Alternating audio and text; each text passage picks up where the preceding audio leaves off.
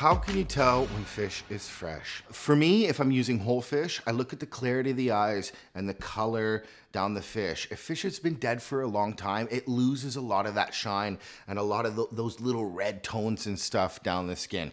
If it's not a whole fish, look at the firmness of it and smell it. Use your senses. Fish shouldn't smell fishy at all. It should smell like ocean breeze.